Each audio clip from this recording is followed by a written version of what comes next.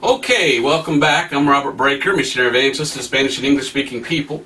And every week on thecloudchurch.org, I post a new sermon in English and Spanish, as well as a uh, midweek service as we're going right now, verse by verse, through the epistles of Paul in order of when they were written.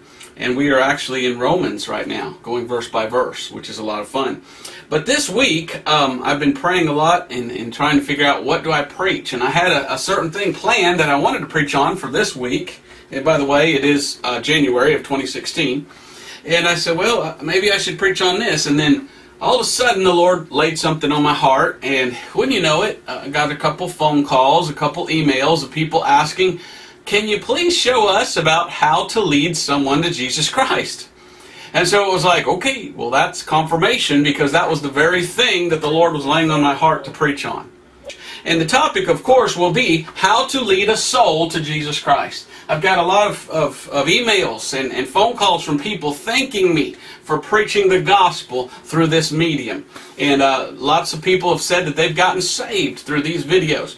It's been a little over a year now that I've been preaching these videos online, and um, I would say we probably get an average of a, a good two, three people a month at the very least who have contacted us and told us we've gotten saved through your preaching of the gospel through YouTube. So I just thank the Lord. It's not about me. It's not about bragging about me and what I'm doing. It's bragging on the Lord and what He's doing as we see people get saved through this ministry. And because of that, a lot of people who've gotten saved have said, well, now what do I do? Now that I'm a Christian, how do I go and tell someone else how to be saved?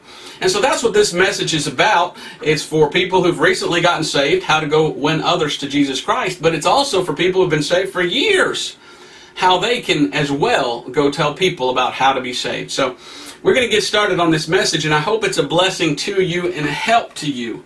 So I pray that you'll take heed to this message and begin to use what, uh, what I'm about to present today in the hopes of going out and winning people to Jesus Christ so that they too can be saved. It's so important, so important to win souls to Jesus Christ. Now, with that stated, unfortunately, there are some people out there that, that brag upon themselves about being soul winners. And they claim they, they win three or four people a day to the Lord. Is that true? We're going to look at that a little bit today because there are some people that totally pervert how to win a soul to Jesus Christ. And what they do is they try to pressure somebody to do something. And what they do inadvertently, whether they know it or not, is leaving a person thinking they're saved because something they did rather than trusting fully and completely upon what Jesus Christ did for them. So when we go to win a soul, we have to make sure that we're not trying to give a person a work and tell them, do this work and you can be saved, because we're not saved by works. We need to make sure when we go to witness to people, we are pointing them to Jesus Christ alone. To Christ Jesus who suffered and bled and died on the cross. And that they're looking toward Him. And that they're saying, wow, he is the way of salvation. I'm saved by Christ and by Christ alone, and not by my works.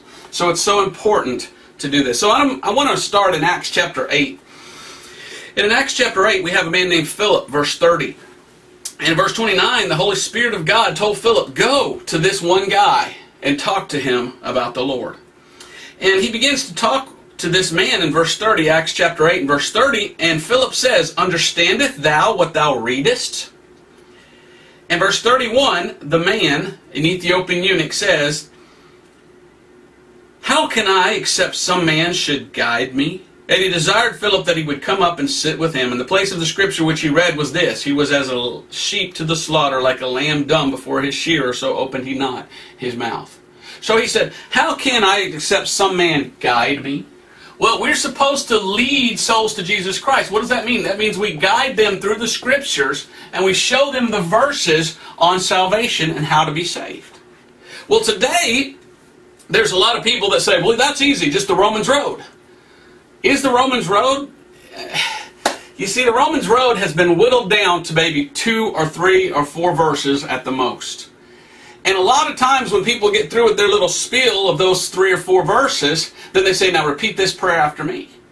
And oftentimes a person is led to pray a prayer, and then the soul winner says, now you're saved because you prayed.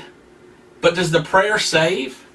there's a man who was a famous evangelist named John R. Rice. And John R. Rice said these words Many believe that a sinner cannot be saved without a period of prayer, without consciously calling upon God. However, the Bible does not say that a sinner must pray in order to be saved. In fact, immediately following the verse in Romans 10 13, which is, by the way, where Romans ends up, the so called Romans Road today takes you to Romans 10 13 and says, See there? That's how you get saved.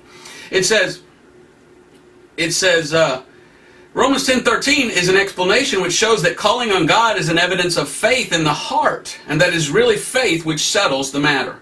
No matter how long he prays, if he does not trust in Christ, he can never be saved. If he trusts Christ without conscious prayer, then he is saved already. There's just one plan of salvation and just one step a sinner must take to secure it. That step is believe on the Lord Jesus Christ. So today, modern soul winners, many of them in many churches around the world, tell a person, you want to get saved? Romans 10 13. Whosoever shall call upon the name of the Lord shall be saved. So just call on the Lord with your name, uh, with your mouth and say, Oh God, save me. Well, this guy, this famous evangelist, says, No. It's believing from the heart that saves. Let me give you an illustration. One time, while I was in Bible school, every Thursday night we went out and knocked on doors and with a partner. And we went out and we did what we call soul winning. We tried to win souls to Jesus Christ. Well, my partner Use the Romans Road, one, two, three, repeat after me method. And we go to this house, and there's this guy there, and he opens the door, and I'll never forget, he opens the door, and his hand's behind the door. And I'm thinking, what has he got in his hand? He's not showing us what's in his hand. I'm thinking, has he got a gun or something? And so my partner says, well, I'd like to share these verses with you and see you get saved. And the Bible says, and the guy goes, yeah, yeah, yeah, whatever. You know, his hand's still behind the door. Yeah, yeah, get on with it. Get on with it. Hurry up, hurry up. And so he read all these verses, and he says, Now would you like to be saved? And the man said, If, if that's what you want, fine. Just, just tell me the prayer and I'll repeat it. And so my partner says, Well, okay, Lord, I'm a sinner. Please save me. Amen. I'm a sinner. Please save me. Amen. The man repeated it.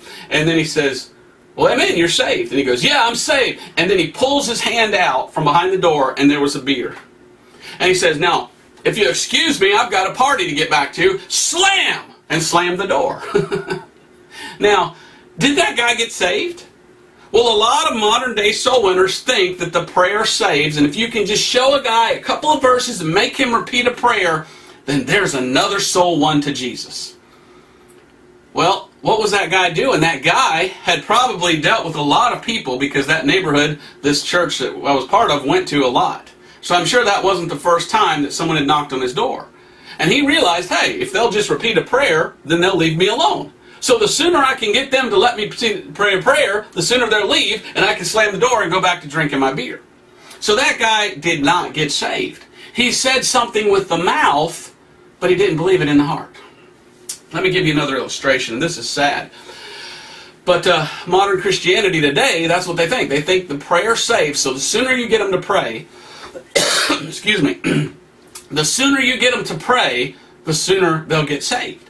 Not necessarily. They could be just saying something with the lips in order to get rid of you because they don't want to be there and not believing it from the heart. I was in, uh, I believe it was Rhode Island years ago with another pastor, and we went to a uh, filling station and we looked at this uh, filling station. I began to witness to this clerk behind the counter at the filling station, and he told me, "Oh, I believe in Jesus." And I said, "Oh, really? Really? Are you a Christian?" And he says, "No." I said, then you believe in Jesus, but you're not a Christian. He goes, no, I'm a Muslim. I said, oh, well, explain that, please. And he says, well, Muslims believe in Jesus. They believe he's a prophet, and we believe Jesus was a prophet. Well, I found out later as you read through uh, the Muslims' works and everything, they believe that Jesus was a prophet and that he went to heaven, but they teach that he's going to come back someday and apologize to the world for lying to the world. Well, that's not what the Bible teaches, but that's what Islam believes. Well, I talked to this guy and was witnessing to him, and he says, Look, I want you to come to my mosque and talk to my imam, my teacher. And so I said, Well, okay, I'd be happy to do that. And he gave me the address. Well, I did not want to go to, alone, you know, so I asked the pastor, Would you go with me to this mosque? So we went around and, and we came into this mosque and they were waiting for us. And this imam says, I'm going to give you a tour of the mosque. And he began to show us all these things and tell us about what he believed. And as he's showing us around, he's telling us about all these conversions to Islam that took place in just the last couple of weeks at his mosque. And I said, okay, tell me about that. He says, well, we had a, he, he called them white people. He said, we had two white people come, and I showed them around just as I'm showing you around, and they confessed salvation through Allah and trusted Allah. I said, Oh, okay, tell me about that. And then he said, Well, before that, a week or two ago, we had two or three uh, Europeans that came, and they too converted to Islam. And I said, So tell me, how does a person convert to Islam? And he says, I'll, I'll tell you later, I'll tell you later. And he began, and, and I'm thinking, What is this guy doing? He wants to show me his mosque. He wants to tell me about his religion. And he's telling me about all these people that have converted to his, his religion. What, what is this guy doing? And the whole time he's giving us this tour and he's talking, he keeps saying, Allah is God, Allah is God. Just remember, Allah is God.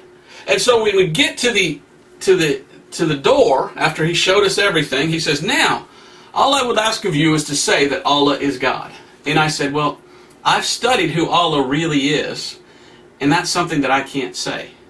When I said that, the man got angry. He said, Say Allah is God. I said, I, I just can't say it. Say Allah is God. And he kept getting angrier and mad. And I said, Sir, wait a minute. How does a person become a convert to Islam? He says, They say Allah is God. I said, So you want me to say Allah is God and then you will count me as a convert to your religion?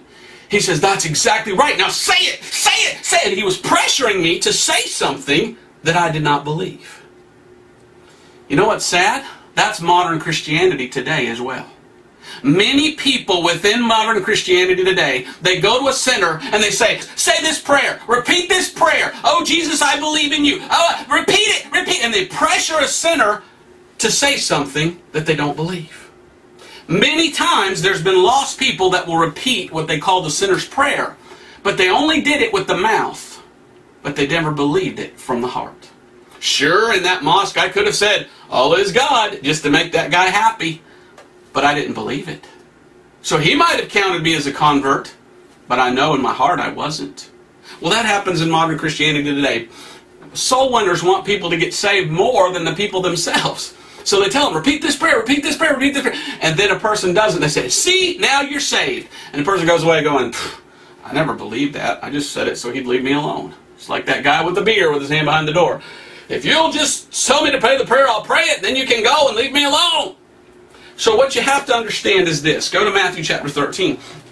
And it's sad because very few people today who claim to be soul winners understand this. That salvation is from the heart, believing.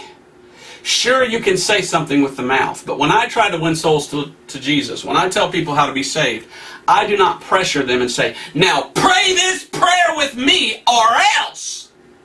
What I do is I take them to the scriptures and I say, now, it's up to you. Do you trust Jesus? Do you want Him as your Savior?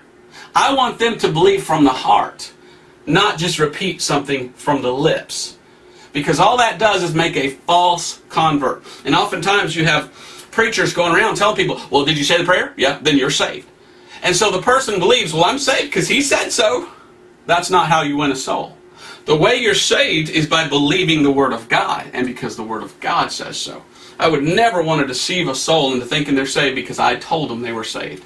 I want them to understand the gospel and be saved and know they're saved, not because I say so, but because the Bible says so. So, Matthew chapter 13, Jesus says this Matthew chapter 13, verses 14 and 15. It says, And in them is fulfilled the prophecy of Isaiah, or Isaiah, which saith, By hearing ye shall hear and shall not understand, and seeing ye shall see and shall not perceive.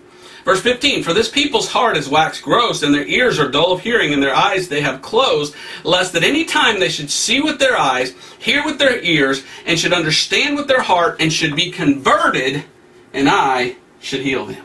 Now, did you get that? Understand with their heart. There must be some understanding before a person can get saved. So, what the goal is of trying to lead a soul to Jesus Christ is to take them through the scriptures so that they come to a point of understanding. What do they need to understand? They need to understand the gospel. You know, the Romans Road doesn't present the gospel very clearly. Just reading someone a couple of verses and then say, now repeat this prayer, oftentimes leads to a person thinking, oh, well, then the prayer saves me. So if I repeat the prayer, then I'm saved. This leads to a person doing what they call the sinner's prayer every night before they go to bed. And sometimes two or three times a day. That's what happened to me. When I was a child, people told me, well, just ask Jesus in your heart, pray the prayer. every night between the age of 13 to 18 years old, I prayed the sinner's prayer over and over. Oh, God, please save me. Oh, God, please save me. I don't want to go to hell. Oh, God, please save me. What was the problem? I had no understanding of the gospel. I thought the prayer saved, so that's why I kept repeating the prayer, hoping, well, it didn't save then, so hopefully if I say it today, maybe it'll save me. I lacked understanding of the gospel. It wasn't until I was 18 years old that my father took me through the scriptures and guided me and showed me the verses. And that's the first time in my life that I can ever remember. And I've been in church every day of my life as a child. But I can ever remember hearing the gospel of salvation. And that's when I understood. So for a person to be saved, there must be some understanding there. That person needs to understand the gospel. And that's the sad, sad thing today. Modern Christianity they try to, to make it into this quick presentation of, here, you're a sinner. The Bible says this, this. Now, repeat this prayer. And, and a person has no understanding. Are they trusting in Christ? Are they trusting in the prayer? Sadly, often they trust in the prayer rather than trusting in Jesus Christ shed blood and the gospel. So what I want to do today, I'm going to take you to the scriptures and show you how to lead a soul to Jesus Christ. Show them how to be saved. Now we must remember, everyone has free will. So they may accept it or they may reject, reject it. We are only responsible for teaching them what the Bible says. You know, a lot of people who claim to be soul winners, they want a person to get saved more than the person wants to get saved. And so they pressure them to repeat a prayer. You know, it's easy to get a person to repeat a prayer. I mean, it's super easy, especially with children. You tell a child, repeat this prayer, they go, okay, and then you tell them, oh, now you're saved. Well, that child, what if he never understood the gospel? Well, then what you've done is caused more damage and more harm than good because from an early age, that person will think they're a Christian and it won't take, it'll take a long time till later they realize they were lost. So you've deceived them into thinking they were saved. Now, that's not to say that a, person can't be saved as a child. I'm sure they can, but the only way to be saved, according to the Bible, is understand the gospel and believe the gospel. And my testimony is like a lot of people's testimonies. As a child, I repeated a prayer. And I thought I was saved because I was told that's what saves you. And so my whole life I was deceived in thinking I was saved by something I did by repeating a prayer. And like I said, it wasn't until I was 18 years old that I understood. Oh! All these years I've been trusting in what I did. Now I trust in what Jesus did for me. And that's when I got saved. So I hope this message will, will help you. Now look at what uh, Peter, uh, Paul says in 2 Timothy chapter 4. 2 Timothy chapter 4, Paul says these words. Verse 1 through 5. I charge thee therefore before God and the Lord Jesus Christ, who shall judge the quick and the dead at his appearing in his kingdom. Preach the word, be instant in season, out of season. Reprove, rebuke, exhort with all long suffering and doctrine. For the time will come when they, when they will not endure sound doctrine, but after their own lust shall they heap to themselves teachers having itching ears. And they shall turn away their ears from the truth, and shall be turned unto fables. But watch thou in all things, endure afflictions, do the work of an evangelist, make full proof of thy ministry. Well, evangelist, what does that mean? It means to go to evangelize. And that's what we're supposed to do, is to evangelize sinners. How do we do it? We have to guide them lead them in the scriptures, and show them until they come to the understanding of the gospel so that they can believe it and be saved. So I'm going to read a bunch of verses today, and I hope you have a piece of paper and a pencil and you can write this down. Because if you're a Christian and you want to learn to lead souls to Jesus Christ, these are just some of the many verses that you can use. And you know, you don't have to use the same verses every time when you try to deal with a sinner. So that's why I'm going to give you a bunch of different verses and when you deal with someone, everybody's different. You don't know what they're going through. You don't know how much understanding they have or don't have. So the Holy Spirit of God might put in your head a verse that they need to hear. So you don't have to use the Romans road, well, I can only give them these four verses and nothing else. No, you can give them any verse from the Bible that might be what they need to hear at that time, as long as it leads them to a saving knowledge of the truth by trusting the gospel and they must understand before they can believe. So, first of all, is the sin issue. In order to get saved, a person needs to realize that they're a sinner. You can't get saved unless you realize you're a sinner. So what I'm going to do is I'm going to write up here Romans 3:10, Romans 3:23. I'm just going to write a couple of verses up here And we're going to look at those, and these are good verses to show someone that they're a sinner. Now, you may or may not believe that you're a sinner if you're lost. Could be a lost person's watching this. Well, then you can't be saved. You say, what? Jesus Christ came to save sinners. he didn't come to save people that don't believe they're sinners. So if you don't believe you're a sinner, then you say, I'm not a sinner, then sorry, Jesus didn't die for you. You see how important it is? A person needs to realize they're a sinner. And I have come across many people that say, I'm not a sinner. Uh, well, let's let's go to the Bible and look at that because the Bible says that you are, and you can't be saved until you realize that you're a sinner. So, basically, let's just look at these verses. I'm going to read them. You can write them down. It would be nice if you memorize these verses, and they're verses you can use. Now, most people in the world today know they're sinners. Many do, but sadly, we live in a day and age of of a lot of, of ignorant people I hate to say it that way, but there's been a dumbing down in America where they don't teach. They teach this math where 2 plus 2 is 5, which is ridiculous. So there's some people in the world, and as the world continues, there'll be a lot more, that don't even know what sin is. So you've got to deal with the sin issue before you can lead someone to the Lord. So you've got to show them what sin is. Show, sin is disobedience. Sin is doing wrong. Uh, Romans 10, uh, 3.10 says, As it is written, there is none righteous, no, not one. Verse 23, for all have sinned and come short of the glory of God. All. So if a person says, well, I'm not a sinner, you say, well, what does all mean? Does that mean everybody, you included? Uh, Romans chapter 5, verse 12. The Bible says, Wherefore, as by one man sin entered into the world, and death by sin, and so death passed upon all men, for that all have sinned. So all are sinners. Romans chapter 6, verse 23. For the wages of sin is death, but the gift of God is eternal life through Jesus Christ our Lord. So, sin. And because you're a sinner, you're going to die.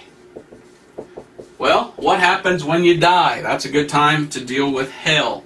And some people know they're dying and going to hell, other people don't. So you might need to show some verses about hell. You might not. What you have to get into your head is how can I give this person scriptures to where they come to the right understanding of the gospel? You see, you don't know. Well, one guy said, one man's head is another world. Every man's head is a different world. Uh, you don't know what a person is thinking. So the best thing to do when you're trying to win someone to Jesus Christ is get an idea of who are they, where do they come from, what do they believe. Now, I want them to get on the same page as God in the Bible, so I need them to understand, and that's key to salvation is understanding. First thing they need to understand is they're going to die someday because they're a sinner. And these verses in the Bible show that they're a sinner. John chapter 7, verse 7 is a good verse that talks about uh, sin. The whole world, I believe, it says, lieth in wickedness. Or am I thinking of another verse? Another verse.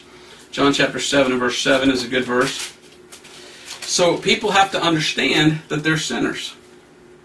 The world cannot hate you, but it hated, but me it hateth, because I testified of it that the works thereof are evil. So the world is evil, and the works of the world are evil. What does that mean? There's sin in the world. And before a person can be saved, they have to see themselves as a sinner. And they have to understand that because of sin, we're all going to die someday.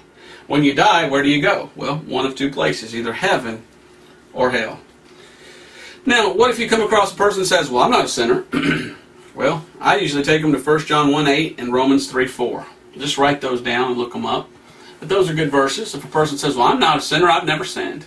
Those verses prove beyond a shadow of a doubt that there's none righteous, no, not one. All have sinned and come short of the glory of God. If someone says they're not a sinner, they deceive themselves.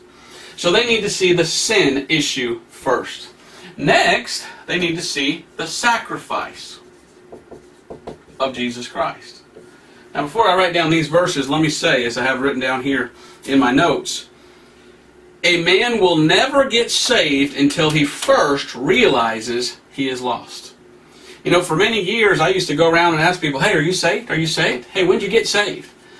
And you know what I, I realized, you know, you know what's better to ask a person rather than are you saved? Is, hey, when was the first time you realized you were lost?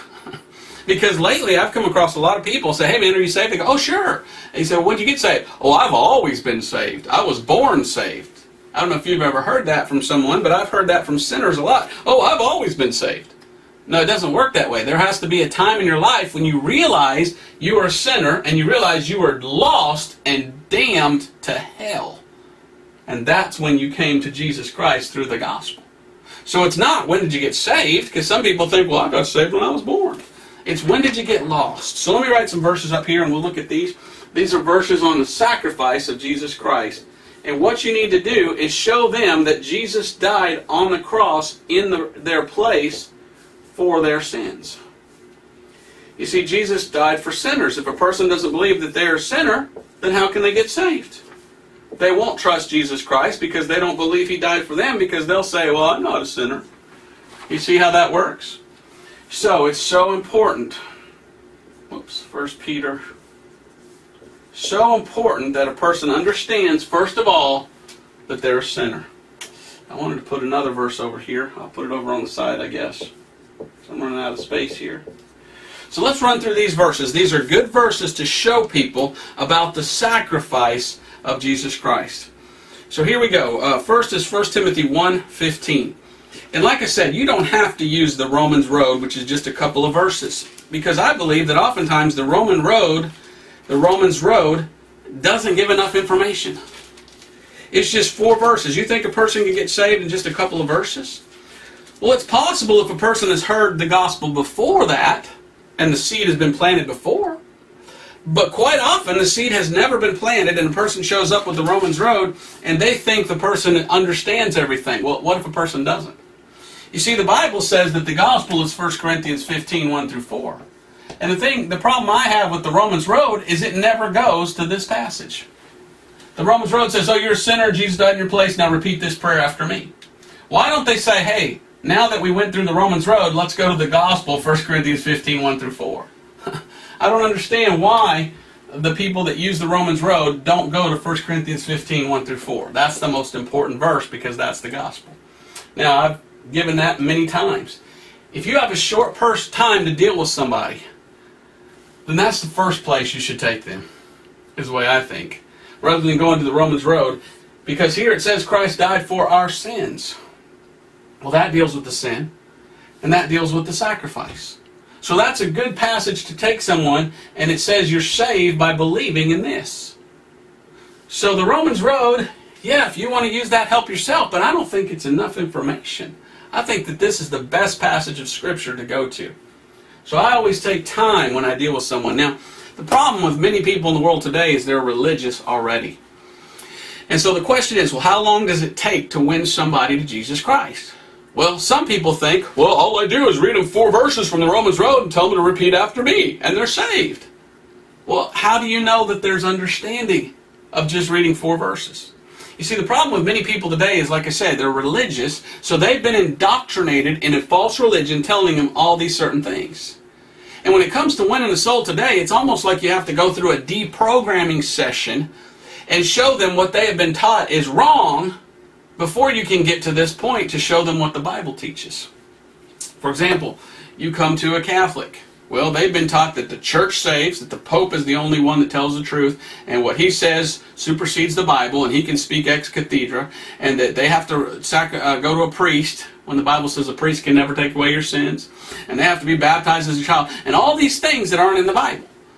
So before they'll believe the truth, it's almost like you have to go through a deprogramming session and say, okay, these are all the things that your religion teaches. Look at what the Bible says about that. Now that you understand that your religion is teaching you a lie, now look at the truth. so I think that to win a soul to Jesus Christ, I don't see how you can lead a soul to Jesus in less than about 30 minutes. Because you've got to sit down, you've got to talk with them, you've got to understand where they're coming from, what is it that they believe, what if they've already been, been, been taught and indoctrinated by false belief, belief and a false religion into believing something that's wrong? And what you need to do is show them, look, that's wrong because the Bible says this. Now this is right. So it, it takes time to win somebody to Jesus Christ. One time I was in a church, and I'll get back to this in a minute, but one time I was in a church in Arkansas, and it was a missions conference, and they called all these missionaries to come, and they said, uh, Oh, well, come over here to this missions conference for a whole week. And there was 50, 60, 70 missionaries at this huge big church in Arkansas. And we were there, and they gave out these papers and said, This is what we're going to do this week. And we're going to play golf on this day. We're going to do this and go to the mall on this day and all these things. And I looked and I was like, What about trying to win souls to Jesus Christ? So what I did is I went to the pastor and I said, Pastor, this is a a missions conference, and missions is about going to win souls. I said, How come there's no soul winning here in this church for this week? You've got a ton of missionaries here.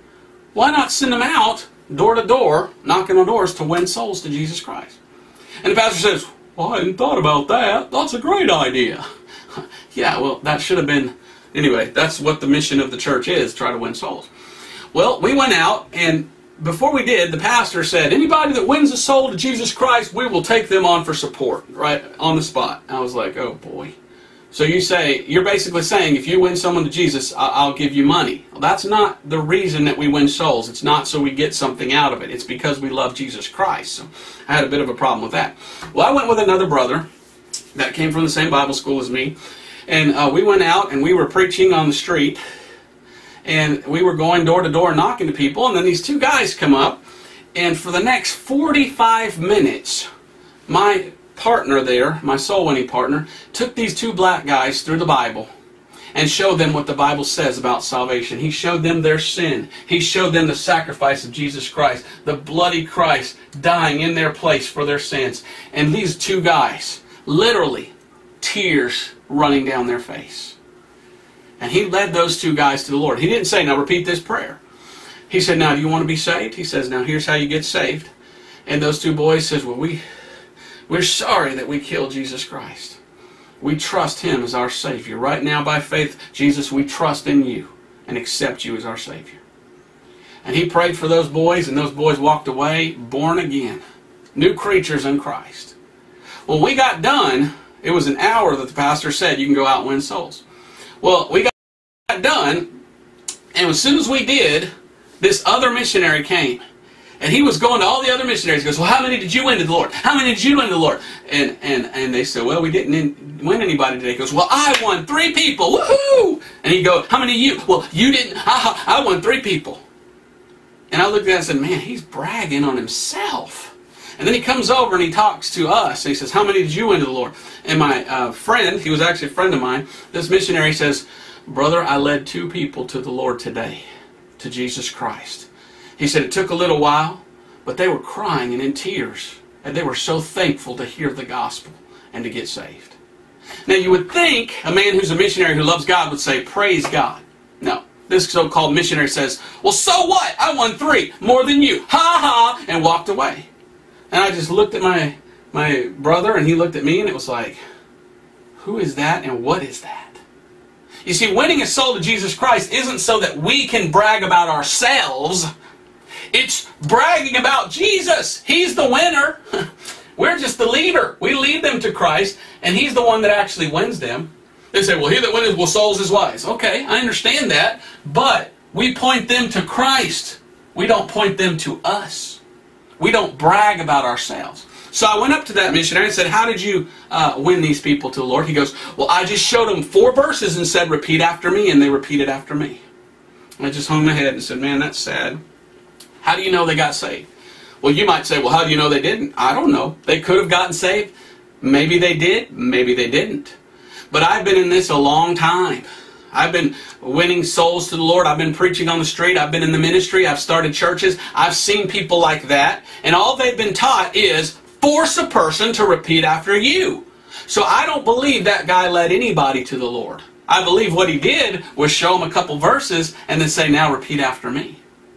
But you know what? They probably repeated after him because they wanted to get rid of him, just like that guy with his hand behind the door with the beer. So what you have to get is what is a soul winner? A soul winner is someone that leads a soul to Christ by guiding them through the scriptures and trying the best that he can to make sure that that soul understands that salvation is through faith in the gospel. Guys like Mr. I won three to the Lord, they don't care about the understanding. All they want is to get them to repeat that prayer so they can go right around and brag about it. I got three people to repeat a prayer. But how do you know they believe from the heart? You don't. All you know is you got three people to repeat something after you. And you're no better than Mr. Muslim who was trying to get people to say that Allah is God. So it's all about the understanding from the heart, as we read in Matthew when we began. And there's got to be that understanding. Well, when my guy talked, my, my partner talked to those two black guys and they were literally crying, you know what my thought was? Wow. If they're shedding tears, then there must have been some understanding in their heart. But when the guy goes, yeah, yeah, less than an hour, I've got three people repeat a prayer, that makes me wonder, well, where's, where's the understanding? Were they crying? Were, were they... No, all you did was get them to repeat a prayer. And so that's a problem in Christianity today. We have a lot of people that claim to be soul winners, but all they're interested in is, is getting a person to do something outwardly with their lips. You know what Jesus said? Let me read you this verse. He said the problem with the Pharisees is they don't care. They'll say everything right with the mouth, but their heart, they don't trust me. Matthew 15, 8, God speaks to those, and he says, They draweth nigh unto me with their mouth, and honoreth me with their lips, but their heart is far from me. So if you want to be a good soul winner, you've got to realize, okay, for me to try to win a soul to Jesus Christ, the emphasis must be on Christ, and that that soul understands what Jesus did for them. I'm not trying to push a person to say something with the lips. I'm trying to explain to a person so that that person will understand from the heart and become a true convert of Jesus Christ. Now, what about these people that say something with the mouth but don't believe it in their hearts? Well, there's a lot of people that have been coaxed by a soul winner to repeat a prayer.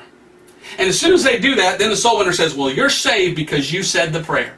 And that person goes away saying, Well, I'm saved because he said so, so it must be true because he said so. And they go out and get drunk, they fornicate, they live like the devil. And you come to the door and knock on the door and say, Hey man, you want to get saved? They go, Oh no, I'm already saved. This guy told me years ago when I repeated a prayer that I'm saved. And so what is that person's faith and trust in? In the soul winner. And they say, Well, he said I'm saved, so I must be saved. But there's no change in their life. They're not going to church. What happened? They made a convert with the lips, but not the heart. So you have a person who's deceived thinking they're a Christian when they're lost and on their way to hell because there was no understanding and no faith in the gospel. So what were they trusting in? The prayer and in the soul winner. Well, a good soul winner is someone who goes with the scriptures and says, this is what you need to believe in and why. And a true convert is someone over here that says, I trust Christ's shed blood because the Bible says so. Not because the soul winner says so, because the Bible. I hope you can see the difference. We have a bunch of soul winners out there who truly present the gospel clearly, and then we have what I call a bunch of soul wieners, bunch of wieners, who are going out there talking about Jesus, giving them lip service, but all they want is to see a person repeat a prayer so they can write it in their Bible and brag about it. You know what I've seen personally? And this is sick. There's lots of people that like to go out and say, I'm a soul winner, I'm a soul winner, I'm a soul winner. And they say, once I get a person to repeat a prayer, I'll write it in my Bible. I have literally seen Bibles of people like that. And I've gone down the list of the names, and the same name is repeated two or three times. what have they did? Well, what have they done? Well, what they did was they made a person think the prayer saves me. And so the person saves the prayer, but then later they're like, well, I don't feel saved. I don't think I'm saved. I mean, he said I was, but I doubt it. So, oh, you know what? If he comes again, I'll pray the prayer with him all over again. And they do. And then they do it again. And they think it's the prayer that saves, but they have no assurance of salvation. They're not saved because they're trusting in a prayer rather than trusting in Christ, the propitiation. So that's why it's so important if you want to lead a soul to Jesus Christ that you point them to the Scriptures. That's why the more Scriptures, the better. So let's go through these Scriptures quickly on sacrifice. 1 Timothy 1.15 it says, This is a faithful saying and worthy of all acceptation that Christ Jesus came into the world to save sinners, of whom I am chief. Romans chapter 5, verses 6 and 8. For when we were yet without strength, in due time Christ died for the ungodly. But God commended his love toward us, and that while we were yet sinners, Christ died for us. 2 Corinthians 5, 21. And maybe I don't have time to read all of these, but what you need to do is you need to show them what the Bible says because we want a person's faith to be in the Scriptures. We want them to trust what God said, not what we say. 1 Corinthians, excuse me, 2 Corinthians 5.21. What does the Bible say? For he hath made him to be sin for us who knew no sin, that we might be made the righteousness of God in him. God made him, Jesus, to be sin for us. So Jesus died in our place for our sins. That's what it's saying. 1 Peter 3.18. 1 Peter 3.18, what does that say? That's a good verse. That, that actually is the entire gospel in one verse of the Bible.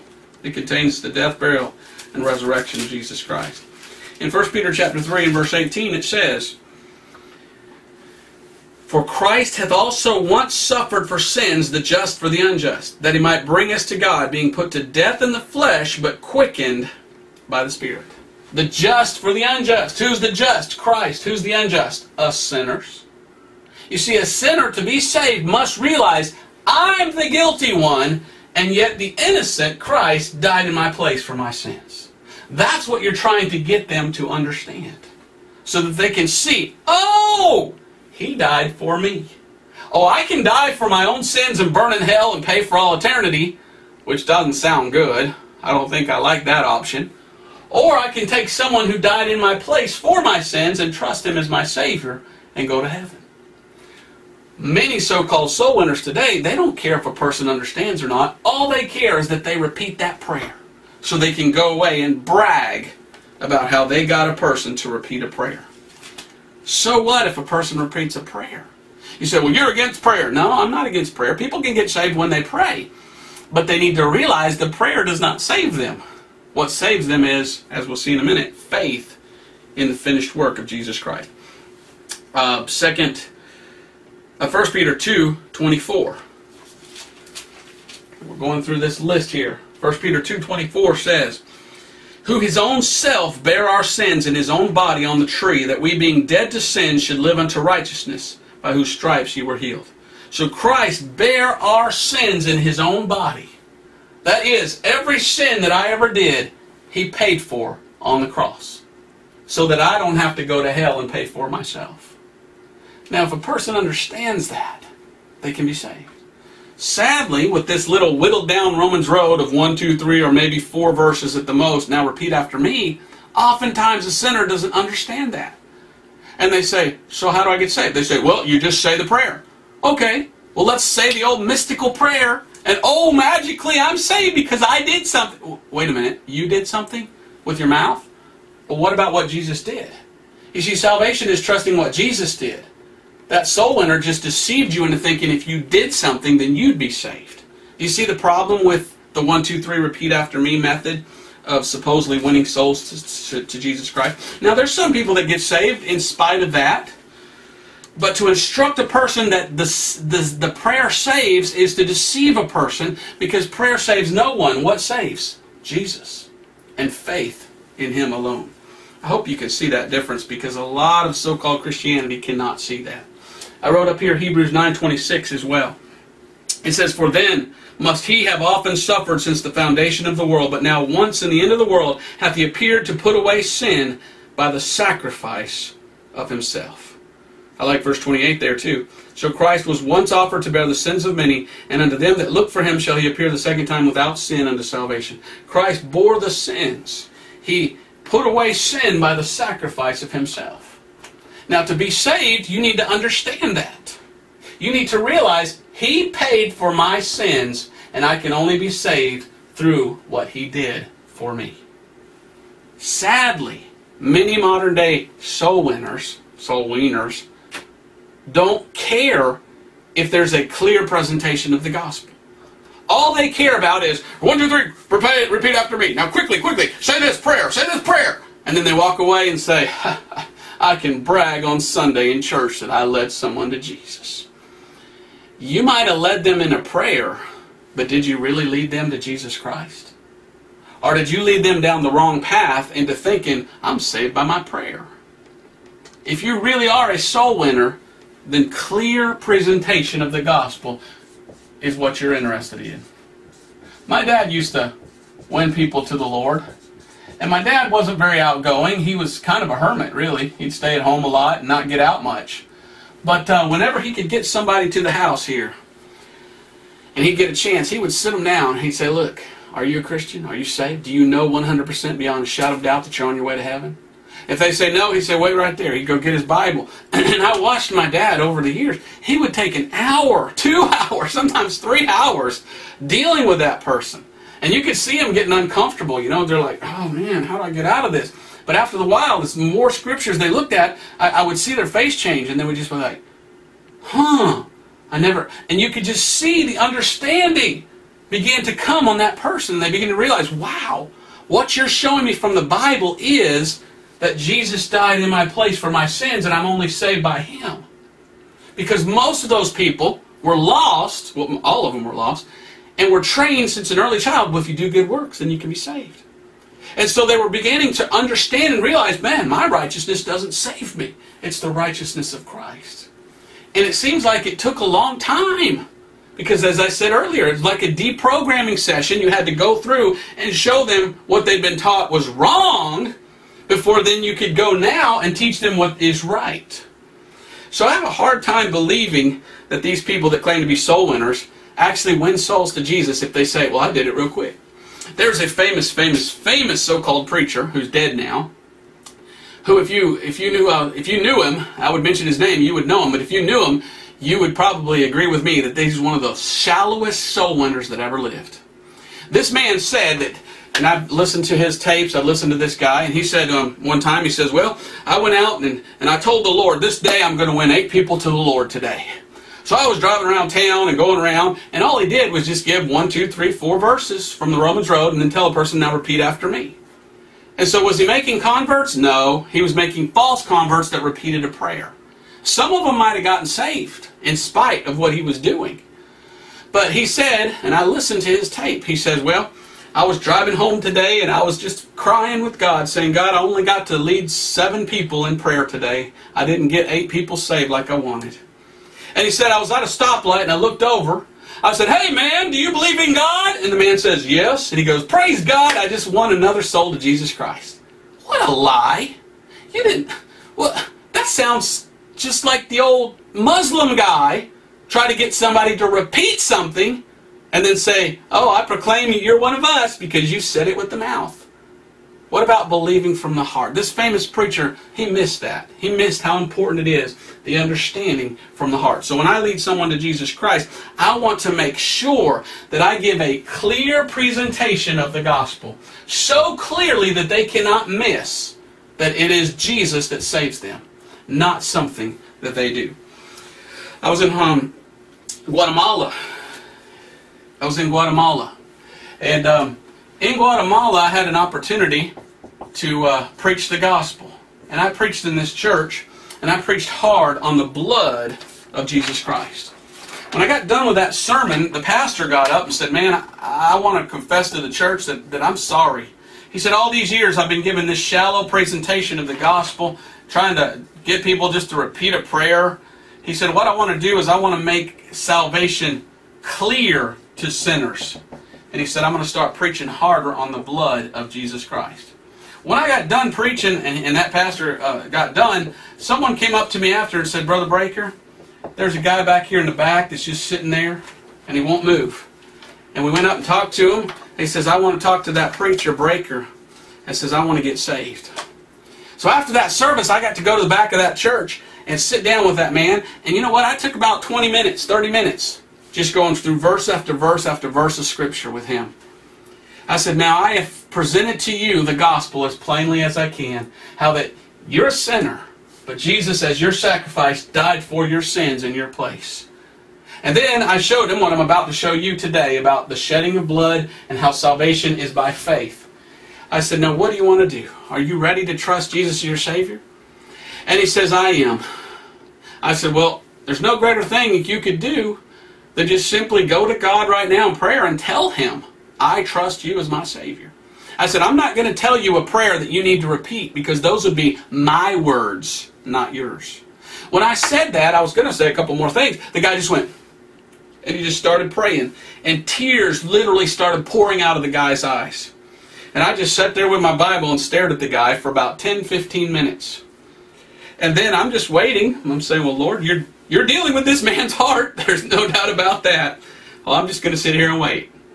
And then after that, the guy went, All right. He said, I know that I'm saved now. because I trust Christ as my Savior. I just went, whoa! now, I could have real quickly said, oh, you want to get saved? Just repeat after me.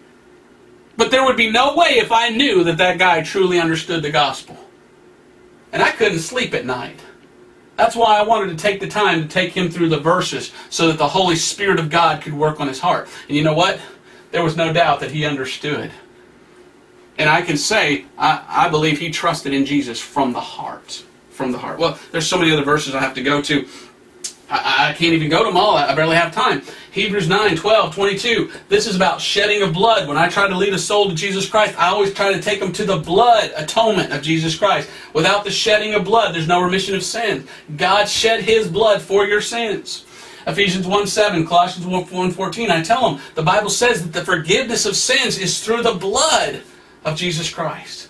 And I give them these other verses, how redemption, uh, 1 Peter 1 18, you're not redeemed with corruptible things, but with the precious blood of Christ. I show them about the blood of Jesus. How important is that? So, I'm not going to have time to give all these verses today. But then I show them about salvation by faith.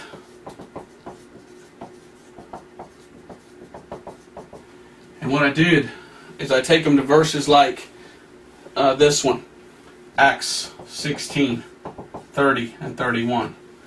Um, I take them to Ephesians 2 8 and 9. Now, I realize I'm mostly speaking to Christians today about how to win souls to Jesus Christ, but it might be that you're watching this and you're not saved. I would encourage you to read these verses. So then I take them after I show them the gospel plainly, as clear as a bell, I give the gospel. And after I do that, I show them now it's all the blood that forgives. And then I show them now the way to be saved is by faith, trusting in what Jesus did. Acts 16 30, 31. Sirs, what must I do to be saved? The man says. Believe on the Lord Jesus Christ, and thou shalt be saved. Ephesians 2 8 9. For by grace are you saved through faith, and that not of yourselves. It is the gift of God, not of works, lest any man should boast. They should see that salvation is a free gift Galatians 2.16, knowing that a man is not justified by the works of the law, but by faith. It's not works and it's not the law that saves, it's faith alone. Well, then the question is, faith in what? Romans 3.25 says faith in the blood. If you get a chance, go to my testimony. My testimony is I was saved on Romans 3.25 because I had a dad that loved me enough to sit me down and take me through the Bible and give me a clear presentation of the gospel. It might have taken 20, 30, 40 minutes, I don't remember. But my dad went through and you can see on my on my video about my testimony the things that my dad showed me from the Bible and I understood for the first time in my life because I thought, "Oh, I got to do all these things to be saved." And he showed me from the scriptures, it's not what I do. It's simply trusting in what Jesus did. And that's when I trusted the blood atonement of Christ. And that's when I got saved when a person gets saved, well, then it's good to take them through and show them that once you're saved, you are sealed with the Holy Spirit of promise. Ephesians 1.13. Ephesians 4.30. Uh, 1 Corinthians 1.22. Sometimes it's not enough just to tell somebody how to get saved and they get saved. You need to tell them, now that you're saved, here's what happens. You're a new creature in Christ. You've been born again. You need to live right and do right and, and serve God and go tell others about it and tell them your testimony. So, trust the blood. Now, where in the Romans Road does it say trust the blood? It's not there. Where is the gospel in the Romans Road? Well, it mentions part of the gospel, but why settle on just giving them part of the gospel? If you really want to win a soul, why not take them to 1 Corinthians 15, 1 through 4? Give them the whole gospel. Now, when a person's saved, they need to realize that they're a son of God. 1 Peter 1.23, Galatians 3.26. So, getting a soul saved is, is just taking a person through the scriptures and showing them what God says about it. And that's what's so important. Now, let me close with this. Many today have been taught the way to win a soul to Jesus is the Romans Road. Just four little verses. Now, repeat this prayer after me. And when they go to the Romans Road, they always go to Romans chapter 10 and verse 13, and that's where they end up. And they use that verse and they say, well, call means with the mouth, so if you'll just call with your mouth, then you'll be saved. And that's what they tell someone is if you just pray the prayer with your mouth, you're saved. Well, what I've tried to do is show you from the Bible today that's not enough. Just saying something with your lips does not save you. What saves you is whether or not you believe from the heart. And there are many well meaning soul winners out there today that are leading people to hell rather than salvation through Jesus Christ by deceiving them into thinking that calling is just by the mouth. And that if you just say from your mouth, Oh God, please save me, you'll go to heaven. Well, that's true. Every lost carpenter on the top of a roof that's ever hit his thumb with a hammer and said, Oh Jesus, just got saved because he called on the name of the Lord. Is that right? Let's read the context of Romans chapter 10. because I don't want to deceive people into thinking they're saved when they're not. In modern Christianity today, just like those Muslims, counts a conversion by if you just say from your mouth, then they'll accept it. But God's not looking at the mouth, He's looking at the heart. Whether you believe from the heart. So Romans chapter 10, verse 13 even shows this. Look at verse verse 9 and shalt believe in thy heart. Verse 10 for with the heart man believeth unto righteousness. It's not just repeating something with the mouth. It's whether or not you trust from the heart. And the way you trust from the heart is to understand. When you truly understand what jesus has done for you then the tears come. Not always. I didn't cry when i got saved but i tell you what i felt bad realizing this is what saves me. You mean he did all that for me that tears you up. Now look what it says in verse 13. For whosoever shall call upon the name of the Lord shall be saved. And they say, see, I just gave you three verses. You're a sinner. Jesus died in your place. Now call on the Lord and you're saved. Whoa, whoa, whoa. Oh, Lord, I'm a sinner. Please save me. Amen. Amen. You're saved. See you later. That's what most so-called Christians do today. And that person sits there going, well, he said I'm saved, so I must be. All right, I'm going to the bar and get drunk. Where's the understanding? Where's the preaching of the gospel? What does it mean to call upon the name of the Lord? Well, let's go to 2 Timothy uh, chapter 2 and verse 22. You see, a lot of people take one word and wrest it to their own destruction. A lot of people think that the word call means just from the lips, and that's not what it means. 1 Timothy chapter 2 and verse 22. Sure, you can call with the mouth, sure. But until you call from the heart, you're not saved. 2 Timothy 2.22 says, Flee also youthful lust, but follow righteousness, faith, charity, peace with them that call on the Lord out of a pure heart. Modern Christianity today that puts all the emphasis on soul winning, it's all for naught unless you put the emphasis on believing from the heart. You see, when you go to Romans chapter 10 and verse 13, that calling is calling upon God from your heart to be saved. That's, I want to be saved. And I want it so bad that I trust the free gift that God offers. Some people don't understand.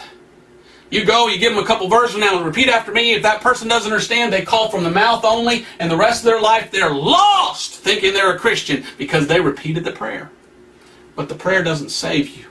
It's whether or not you believe and trust from the heart. I'm going to prove that from you uh, to you right now. Romans chapter 10, verse 13. For whosoever shall call upon the name of the Lord shall be saved.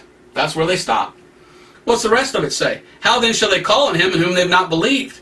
And how shall they believe in him whom they have not heard? And how shall they hear without a preacher? And how shall they preach except they be sent? As it is written, How beautiful are the feet of them that preach the gospel of peace. This is what you're supposed to preach. I'm sorry, the Romans Road, one, two, three verses, now repeat after me, does not present clearly the gospel of salvation. That's the problem. You must preach the gospel.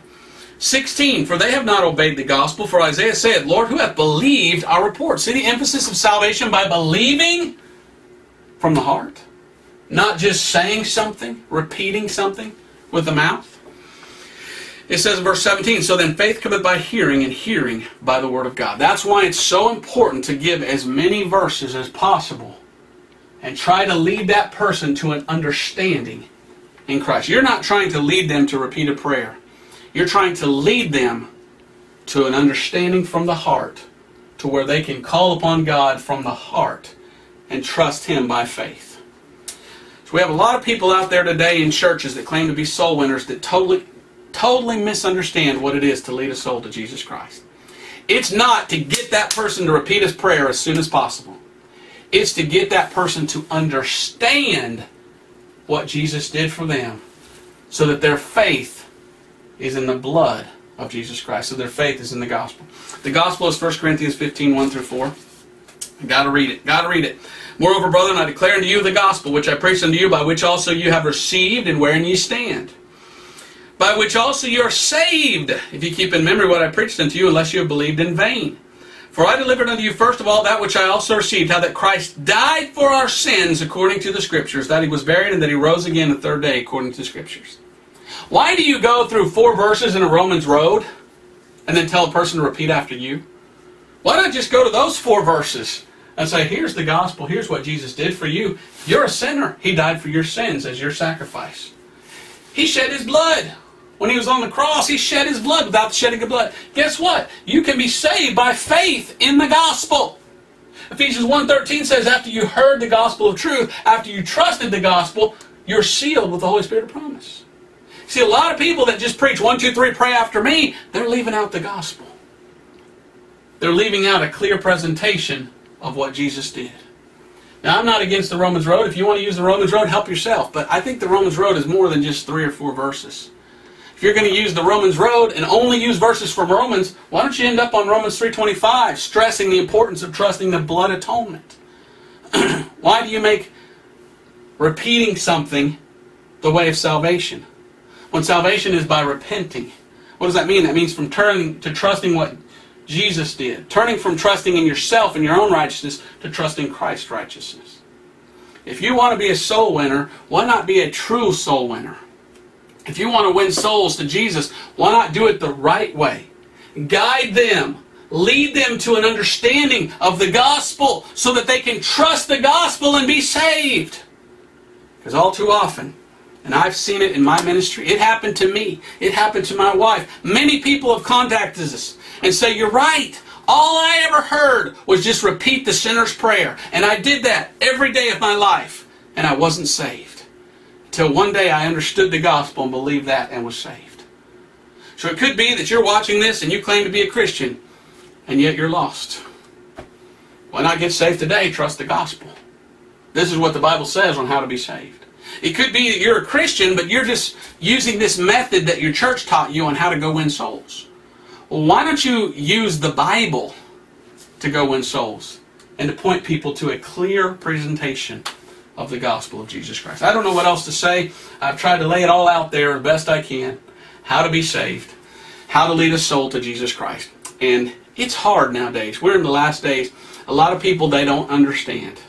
Many of them are deceived by a false religion. So it's like I said earlier, it's a deprogramming session. You have to show them in the Bible where they're wrong before they'll even listen to this to be true. Some of the hardest people in the world to reach are those people that think, well, no, I'm saved by works and I have to keep the law to be saved.